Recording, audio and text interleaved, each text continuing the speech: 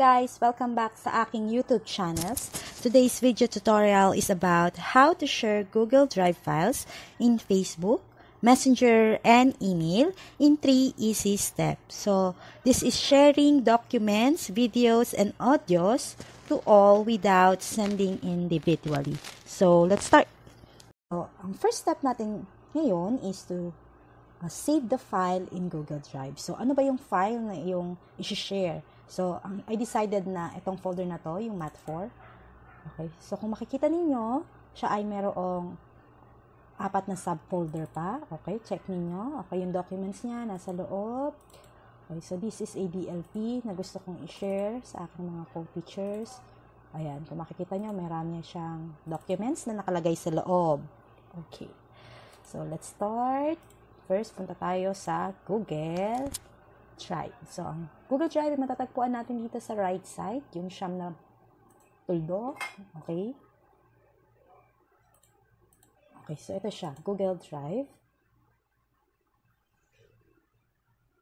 Okay, so ang first step natin is to save the file in Google Drive. So, kiklik lang natin yung new, then folder upload. Hindi pwedeng file upload kasi pa isa-isa yan. Folder upload tayo. Okay, then dahil nasa desktop site siya, desktop, i-click natin. Then, click yung gusto nating folder. Yan, Mat4.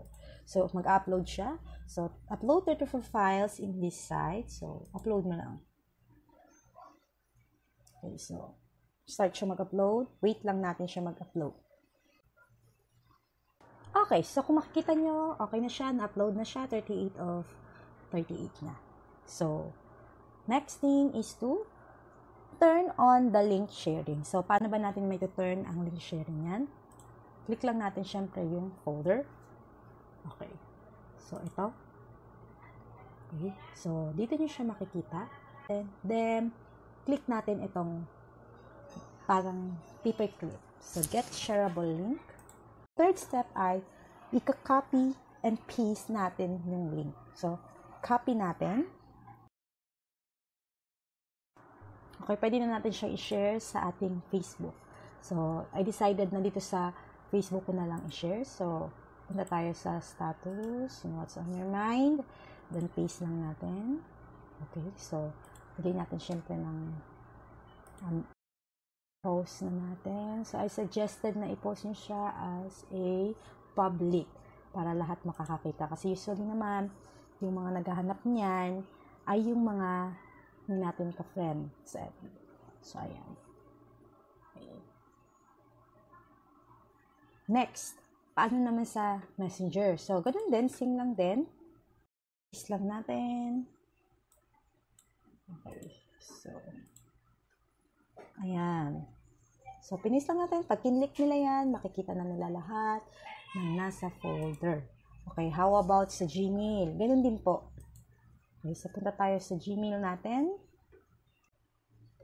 Okay, so compose lang natin yung ating click lang natin yung compose. Okay, so 2. Saan nyo ipapadala? For example, sa aking uh, second account. So, aking second account. Then, subject, DLP. Then, paste lang ulit natin. Okay. Then, send. So, i-check niya yung drive permission. So, dahil nakalink, turning link naman tayo. Okay. So, ayan na. Okay. Ayan. So, check natin. Okay. Ayan na siya. So, pag kinlik niya lang yan, makikita niya ang mga folder na nakalagay dyan. So, anything na pwede niyong i-upload dyan sa, ano na yan, makikita pa rin niya. As long as na sinisave niyo sa drive. So, ito lang ang lagi niyo tatandaan na yung link sharing on, lagi niyo pong i-on. Dahil para ma-access po ng kahit sino. So, yun lang. So, ganun lang po kadali ang pag-share ng mga files in Facebook, Messenger, and email sa pamamagitan ng pag uh, ng uh, Google link.